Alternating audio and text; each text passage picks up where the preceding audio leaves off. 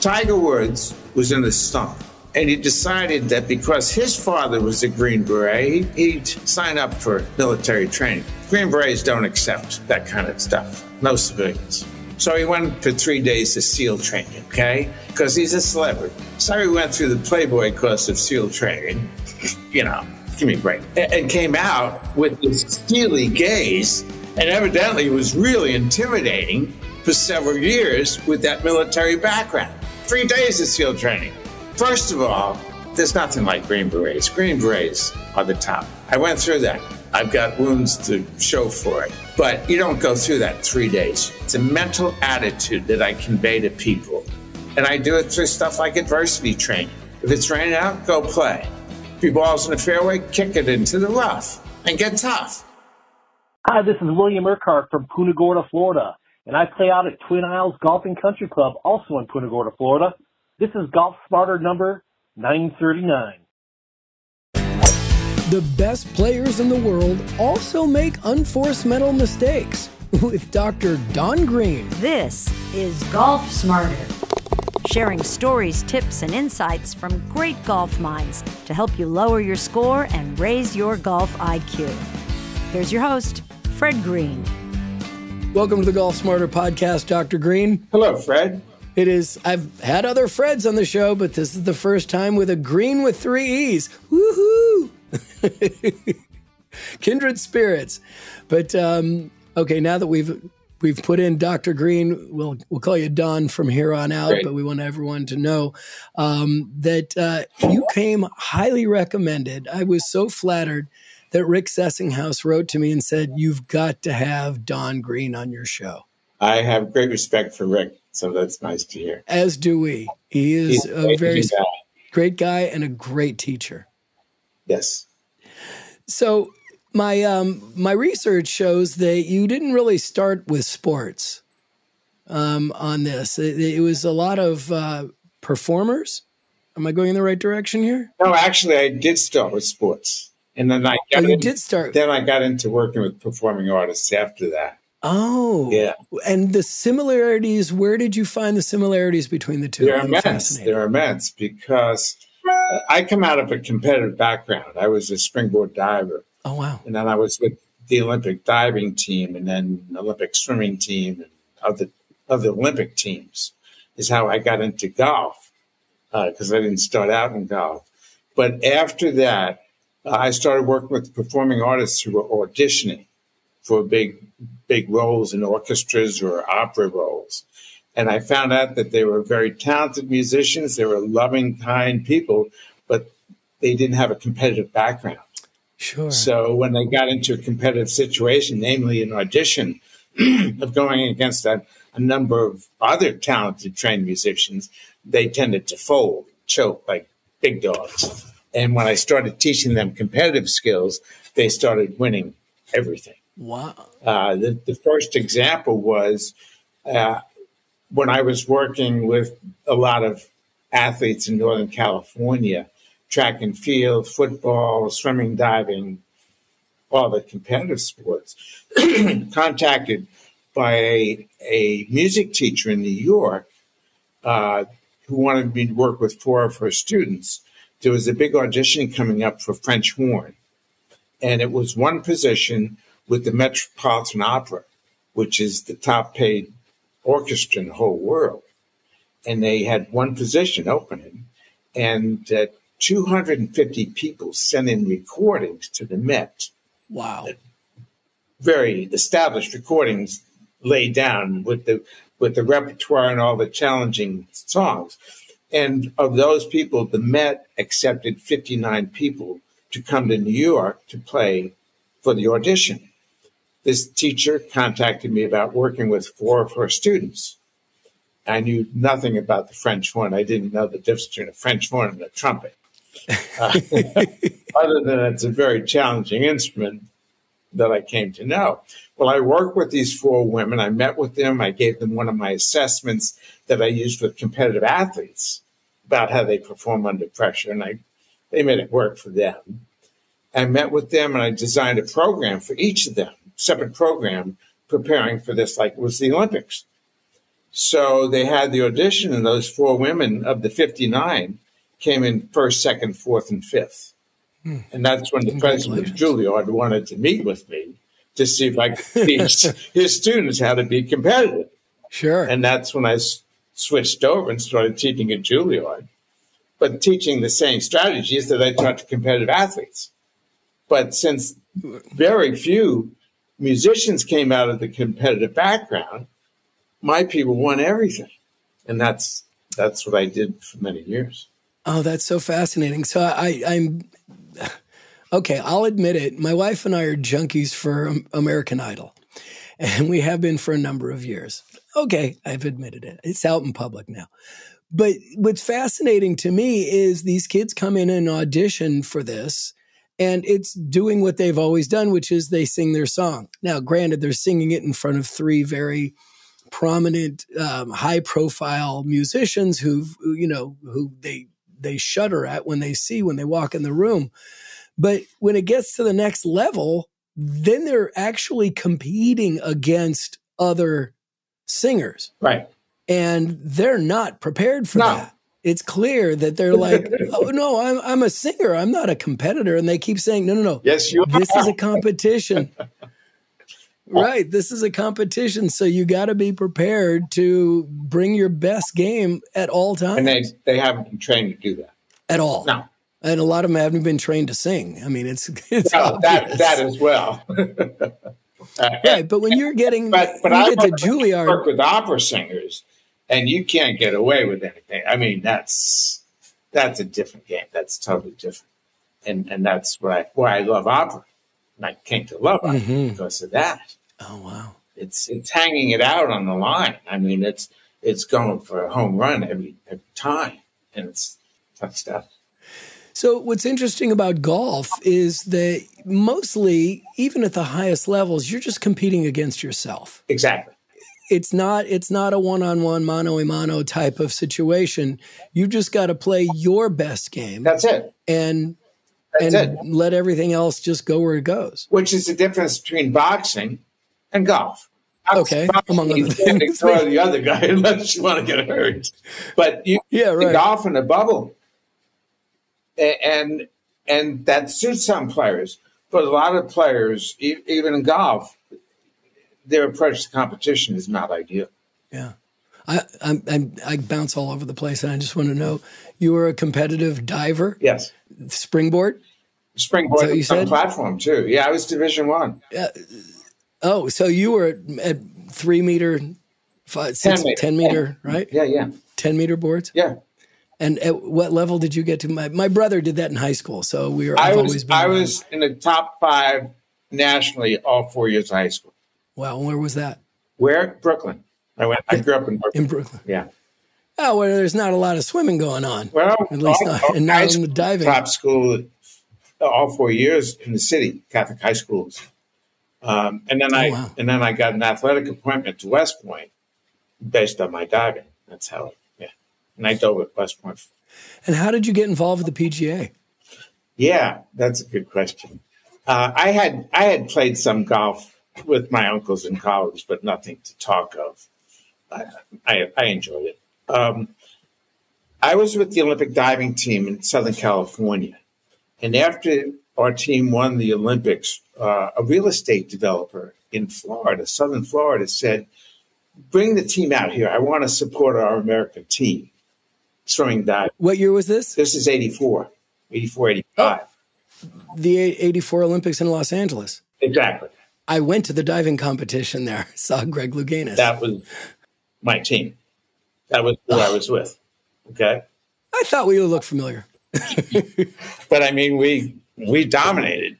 But but he was yeah. inspired by that and contacted Ron O'Brien, the diving coach, and the swimming coach said, if you come here, I'll build the pool for you. I'll build the pool.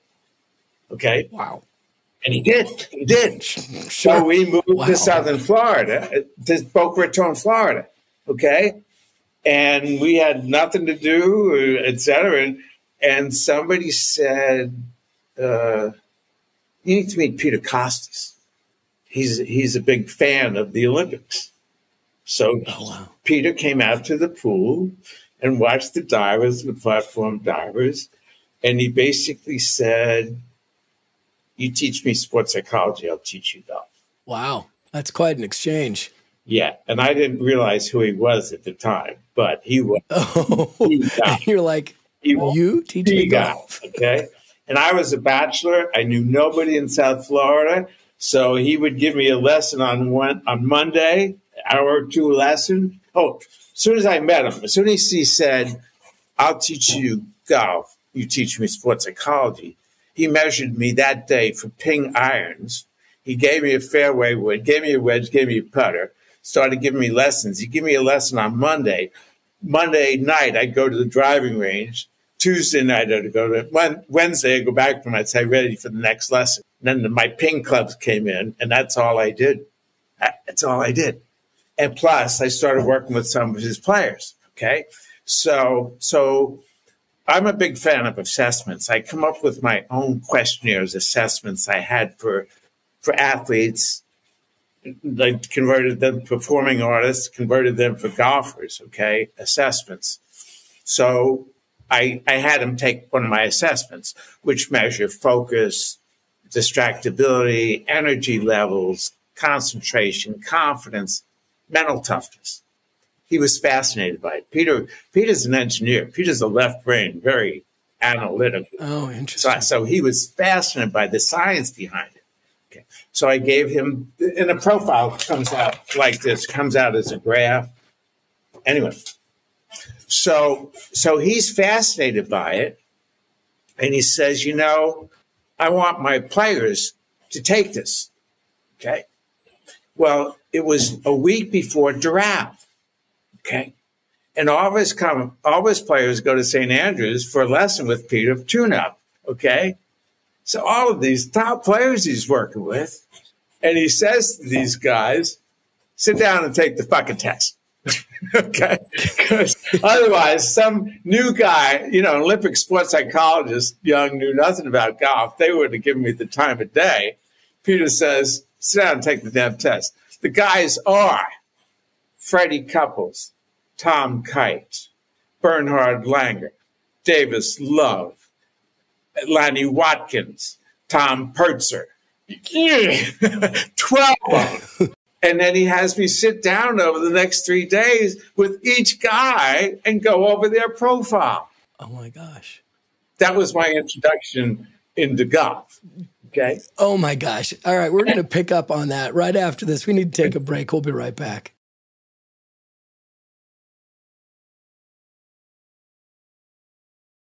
Well, what was it that got you hooked on golf? Was it the going to the driving range those first couple days, or was it meeting this like some of the biggest names in the sport well, the week later? That week, here I was working with the last several years with amateur athletes, and a lot of volunteer work.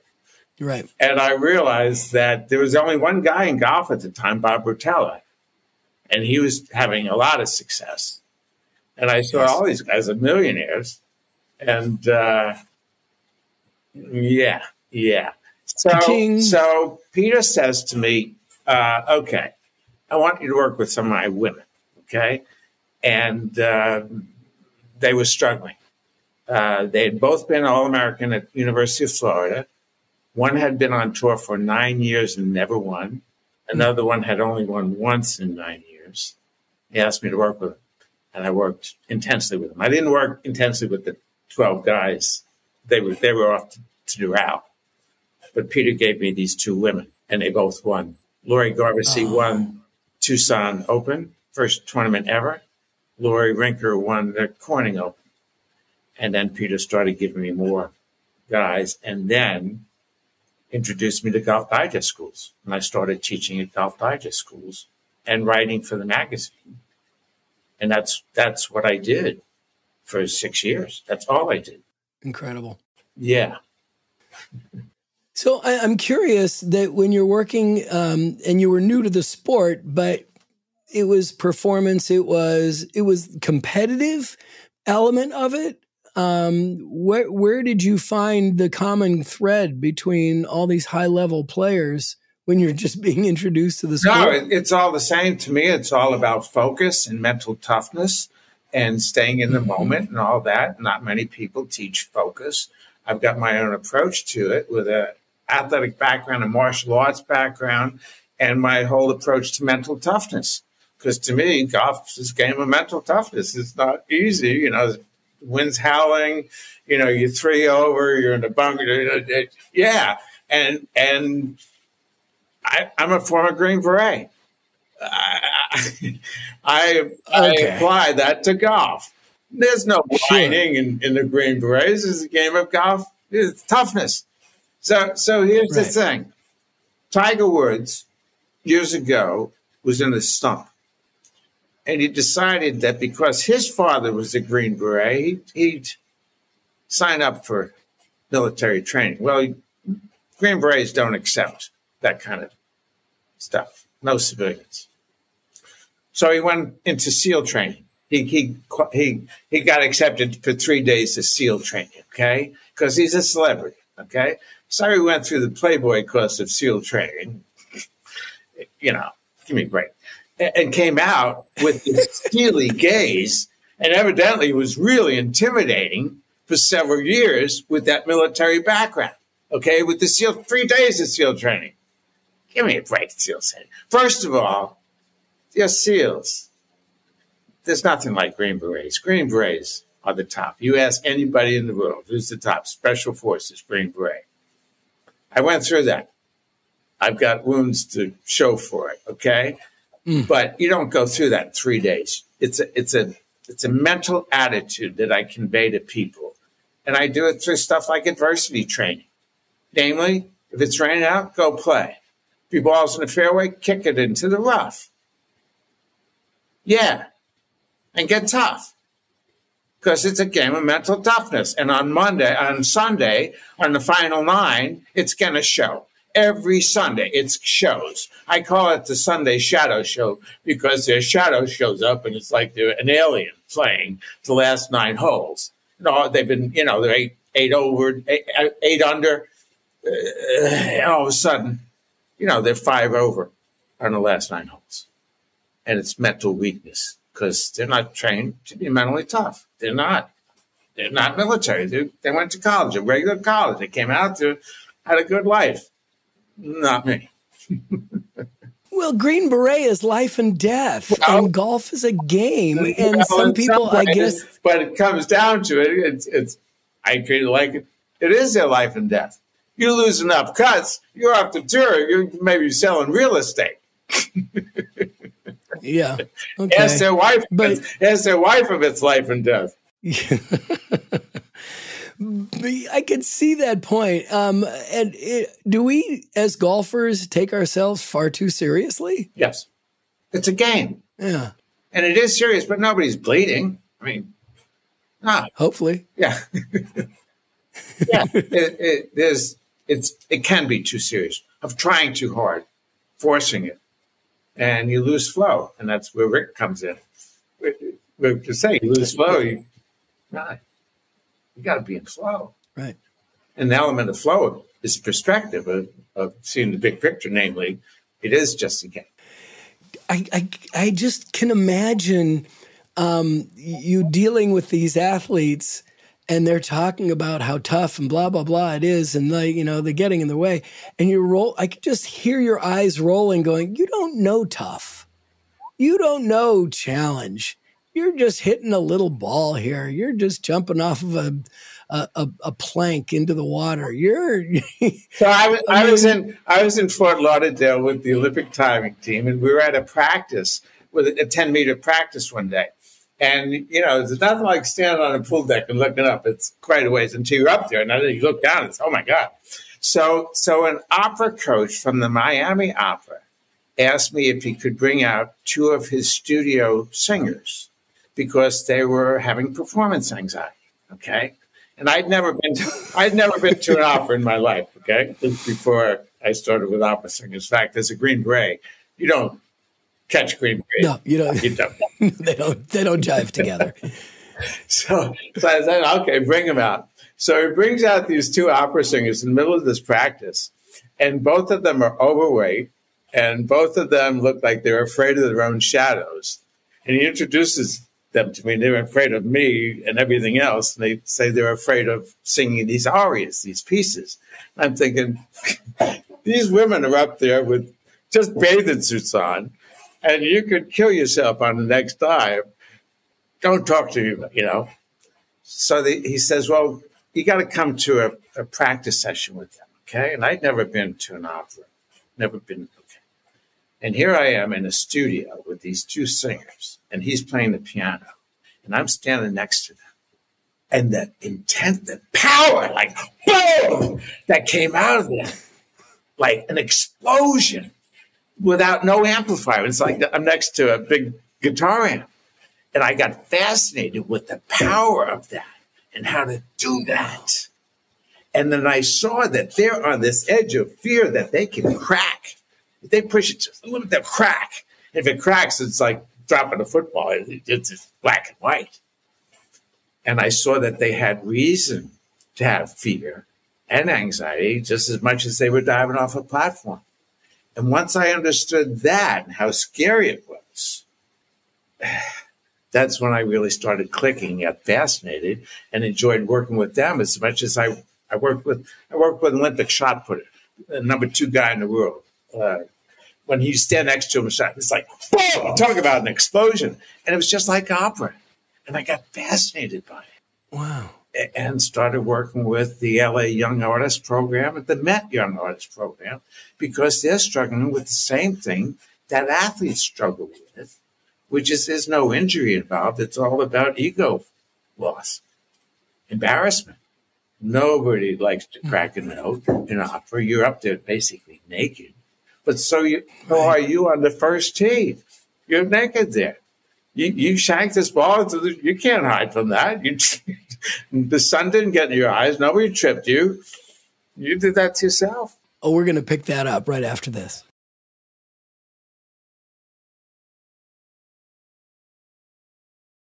You did that to yourself. Yeah. I mean, you know, you're on. You're talking about the first tee. You're exposed. You're naked but you just got to go play that shot and you just go to the next one. And you got to get over yourself as we've already said. You just get over yourself. Well the, but the question um, is what caused the, that on, where are the barriers? Okay. Yeah, yeah. Well 20 years ago i stopped doing what i was doing. Well i kept on but i, I wanted i wrote a couple books about this but I still had a question I couldn't solve. Why did talented, trained, experienced individuals across the range of music, sports, you name it, make unforced errors that they can't explain? And that's the question I went looking for. And it took me 20 years to figure out, but I figured it out. And, and please don't make us read the book, which is called Train Your Train Own Hero. Your Own Hero. Dr. Don Greene with three E's. Uh, absolutely. so, what did you figure out? How do they make unforced errors at that level? Well, it, it comes what causes the unforced errors. Okay. Well, I'm a psychologist and, I, and I'm trained and I apply that. Okay. But most of it's Freudian psychology, Freud, id, ego, superego. Okay. And that doesn't, that doesn't explain unforced errors. Okay. It, you've got ego, which is sensitive and reputation that's concerned about that, and you got the id and the e, but it doesn't explain unforced errors. Okay, so I went looking outside of that to Carl Jung, J U N G, uh, mm-hmm. a Swiss psychotherapist around the time of Freud, and he was agreed with Freud for a while until he realized that Freud was obsessed with sex and it's over the top. Uh, and some of the ego defense mechanisms, yeah, to block out reality rationalization and denial and all, but it, it really doesn't help me with golfers missing shots. Okay, missing fairways. You know, you just hit 100 balls on the range before you went out. Everyone is pure. You shot, you pull the left foot left into the woods. What happened? I was distracted. Yeah, but yeah, or I choked. Yeah, but what caused it? And, right. and Carl Jung came up with the answer. Okay. And yeah, And people don't necessarily want to hear it. It's hard to swallow, but it has to do with his concept of the personality. Okay. Now, Carl Jung was brilliant. He predicted World War One and World War Two. He's the man who came up with the term synchronicity, namely, things are connected beyond the level of that. Okay. So his model of the personality has a persona. Now, persona is our outward mask that we show to the world. Our happy face. How you doing? Everything's fine. Okay. Beyond that, there's a deeper part of our personality, our dark side. Okay. That is not as pleasant to look at, not as happy. Kind of, uh, okay. Shakespeare said, This darkness in me I must acknowledge as mine. Billy Joel, the singer, wrote a song called The Stranger. Same concept, the shadow and a dark side of a personality that comes out of early childhood trauma, unresolved things. Nobody grows up perfectly. No, we all grow up with this. So, so we keep this shadow buried because it's not pleasant, but it's but it's there. And, and I give the example to musicians. Okay, they go into a job where they're playing with an orchestra, and the new conductor comes in. Now, conductors can be tricky things. They can be brilliant or idiots. Okay, uh, and, and musicians know. Okay, but they have to be nice. They have too. to be nice to keep their job, you know, because conductors have power. So you go into the orchestra and you meet the conductor. Hey, how you doing? It's nice to see you. Good to have you back. Fucking moron! When did you learn how to conduct? That shadow. that shadow. Okay, and the shadow is not necessarily happy because it's got a lot of unresolved trauma, things that happened to it. It's unresolved and causes conflict. And, and it doesn't necessarily, it wants attention. It wants people to pay attention to it, but most of us just go away and deny it, ignore it. No, no. So, like a kid that wants to be seen, it wants your attention. And to me, me, treat me like me, real. But people don't. So it waits for opportunities to get your attention, like the first team. Like, oh, what the hell was that? Me, me, me. Go on, go on. With musicians, it happens at the finals and auditions that they make mistakes. What was that? Pay attention. Let's resolve this conflict. Take some effort, take some time. Once you do, stop making unforced errors. Not perfect. Nobody's perfect. You have to, and, and in golf, there's too many variables to win. But, but hitting hitting the hitting the ball this much off the center of the club face on a driver is not the win. It's the shadow it's causing a mistake, mm. making a mistake, and that to me is what I watch every Sunday on golf. Two channels now, LIV and PGA, and all I see is unforced errors on Sunday. That they shaking their head like, "What was that?" They go to their teacher who says, What was that? I, I had you right in this thought. You did. It, there's no other explanation than that they actually meant mistake that. It's mind blowing, but nobody else addresses it. There's, I've read all the books on choke and the, you name it. Nobody else has really solved it for golf. Is it solvable? Yeah, that's what I do you solve it. Yeah. Do you get resistance? Do you get people like you're pointing this out, you're showing them where it is and what's going on? And they're takes, like, nah, takes, that's not me. It takes some coaxing, yes. Huh. And they, they have. And do you, do you use your green beret coaxing? uh, no, no. Um, they've had enough of that. Um, I, I've I've been basically in a closet for the last nine years. First, I wrote the book, and I thought I could do it in a, in a year. It took me five years. It's hard. It's complicated and hard to convince people. Okay. Then people said, you know, this, you need a journal to go with the book because it's work. You got to write this stuff out. So I took six months and wrote a journal. Okay. Then people said, you know, people don't read books anymore. You got to do an audio book. Okay. So I converted my dining room into a sound studio, professional sound studio, and I became a recording artist. Nine months, hardest thing I've ever done. Uh, I couldn't use my lecture voice; it blows out the speakers, so I had to convert my voice to my bedroom voice. Okay, folks, take a nice deep breath and relax. and, and, I finished it, and then I it took me two months to recover from it because I blew out my voice. I couldn't talk for two months, and then I started teaching more musicians, and they were winning everything. And then I thought, you know, I got to get back into golf. I left golf on good terms. I, I had great relationships with a lot of good teachers. Uh, so many wonderful teachers. And some of the teachers that I taught with early that were junior teachers at Golf Digest, like Todd Anderson, is now a senior teacher in Florida at a, at a learning center. Uh, one of the writers I wrote with was a young writer at Golf Digest, is now editor in chief of Golf Digest. And I, wow. I, I want to get in touch with him again. I'm basically been hi- in hiding, uh, working only with performing artists and nothing has changed in golf. In most every other sport, the records are falling. Like the world shot put record just fell over the weekend. Okay. Track records are being broken all the time. Swimming records, divers are diving, doing new dives. People are not shooting in the 55 range. The equipment is better. Golfers are stronger. They're in better shape. Golf courses are better. Greens are better. Caddies are better. Everything's better Nothing's changed. The scores stay the same. Why? Unforced errors.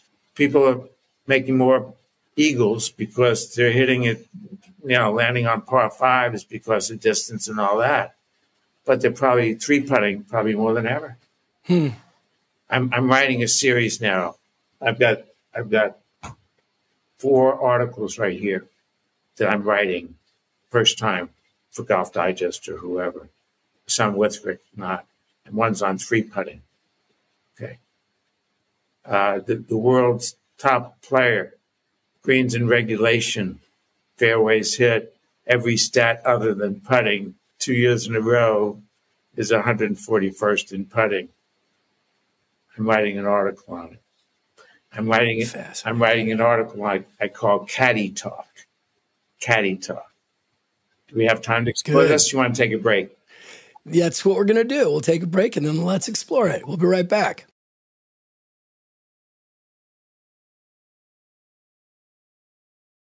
All right, let's continue. Okay. All right. So caddy so, caddy plays a, a, very important role, and caddies are more sophisticated. They tend to be better players. There's some tend to be famous. You know, they comment on on TV. Um, yeah. And they play an important role with club selection, win, all of that. Okay. However, some of them tend to overdo it. Okay. Uh, maybe to keep their jobs. Okay. But to me, the, the job of a caddy is, is to give the right information before that player steps into the ball. And I, I think of it as a, like a nine foot circle around the ball. That's the, the zone for for the player okay? And the, the job of the caddy is to enable the player to step in there with a clear idea, the right club, the right information, and then leave it alone, okay? So we have two parts of our brain, a left brain and a right brain, okay? The left brain is analytical, making, uh, well, numbers and words, okay? Like 163 yards to the pin, but it's back five yards, but the wind's blowing left to right. The words, but in the practice round, it did, it did, it did, all these words, which are really important. Words, right, right. Okay. So, and then the player is filled with these words, but he's got to convert these from left brain to right. In other words, the picture of the shot, the image of the shot, the feel of the shot. Does it feel like 133 or 135? The feel, how does it feel in his hands? Eh, all the right brain stuff, no words, mental quiet, because in there they need one idea and mental quiet and no words, no numbers, so they're ready at the shot. Okay, got it. say, hey, the wind just picked up. You know, it's playing more like 156 than 158. So maybe it's not an A, maybe it's a. D, D, D, D, D, D, D, D. Now we got back again. So, okay, okay. Oh, and don't pull it left in the water like you did in a practice round. Because the mind does not understand the word don't, only the, what comes after the word don't. So don't exactly. pull in the left in the water. The, the image is there. That's uh, and then he hits in the water. The guy says, "I told you not to hit in the water." but you said put it in the water. so I'm going to write this article. I'm going to offend some caddies, and I, I don't care. I love talking to caddies. Well, I love having him on the show. I'd rather, and, and I've said this before. I love. To, I'd rather talk to caddies than than tour players because tour players are a little bit protected. I mean, professional athletes they've been burned, so they know how and what to say. Caddies don't care. Yeah. They'll tell stories. Yeah. They love telling stories. And I have caddied. I've caddied at Q School. I've caddied at the Open. Uh, oh wow! Yeah, yeah. I, I know the game. Uh, and again, I, have been away from it doing this other stuff with professional performers, and nothing's changed in golf. And, and nobody's approaching it from my point of view. And I'm just so glad to be delighted with Rick, who understands it. Rick understands this. He's the only pro I know in golf that understands now my approach to it. And he's totally on board. That's why we're syncing up so well. Yeah. And that's why he wrote to us. He wanted to, he wanted to get you on Golf Smarter. So you have three books, is that correct? Train Your Own Hero, Fight Your Fear and Win, and Performance Success? And Audition Success.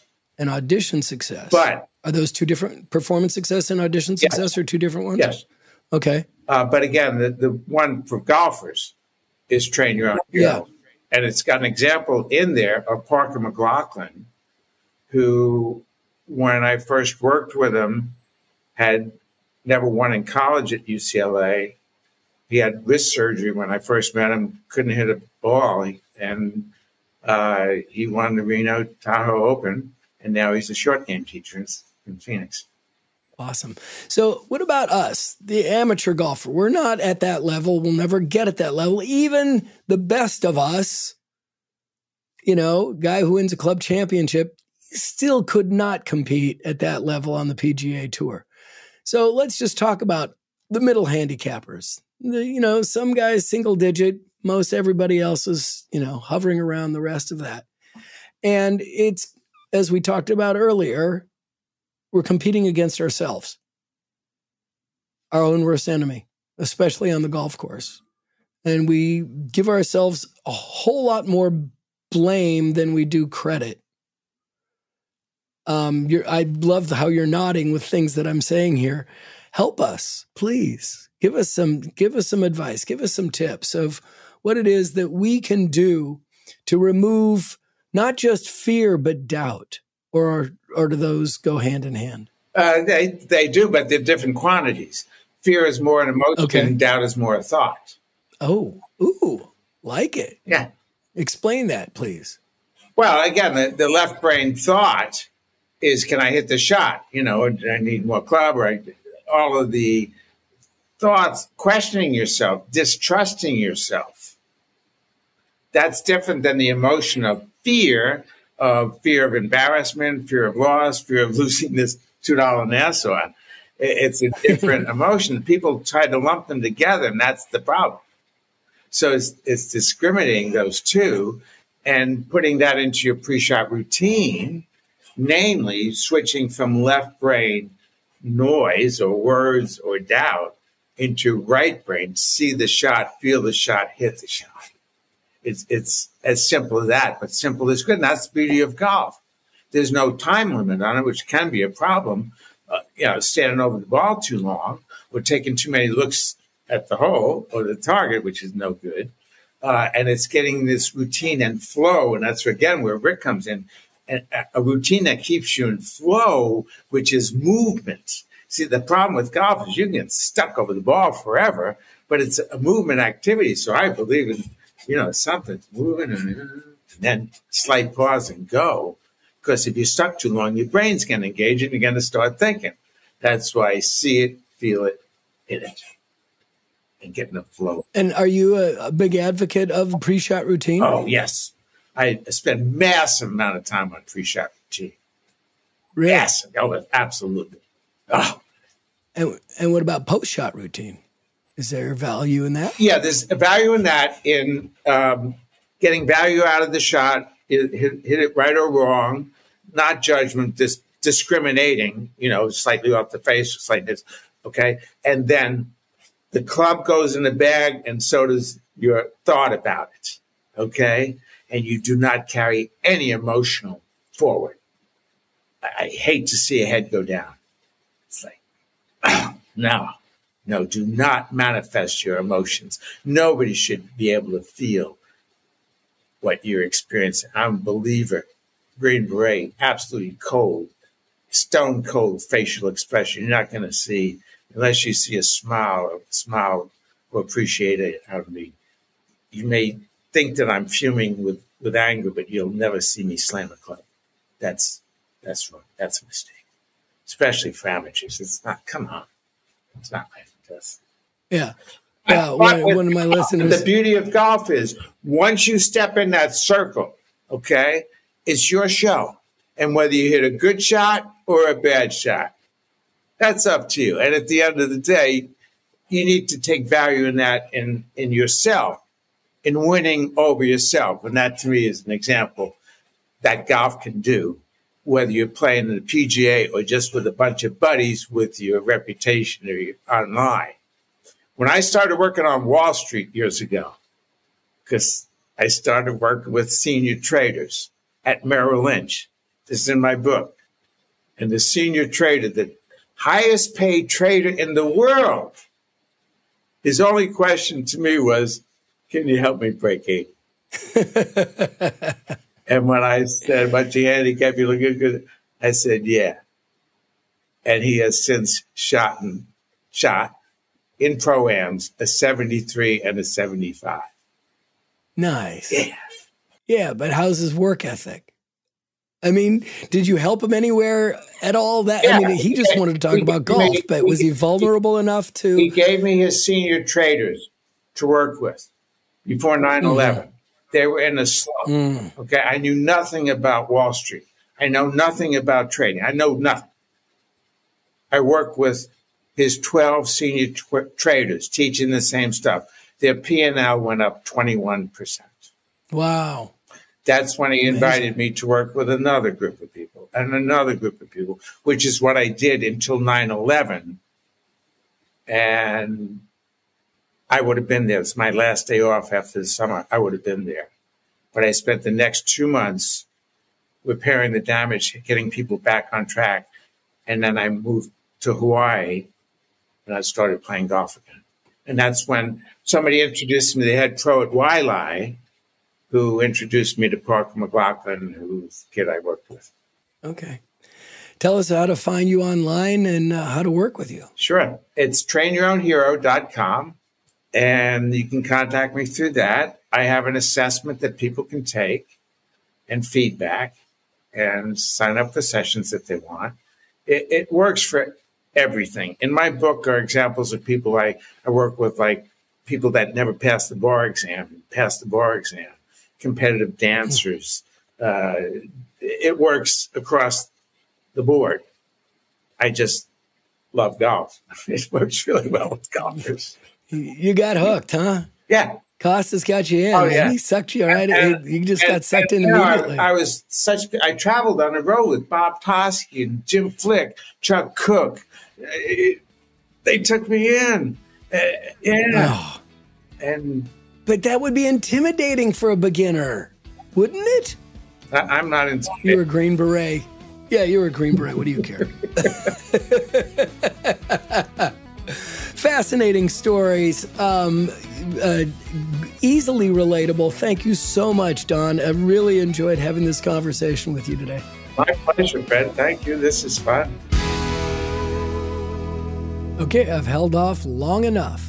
It's time to bring back the best of Golf Smarter from our archives of episodes that are just no longer available on any podcast app.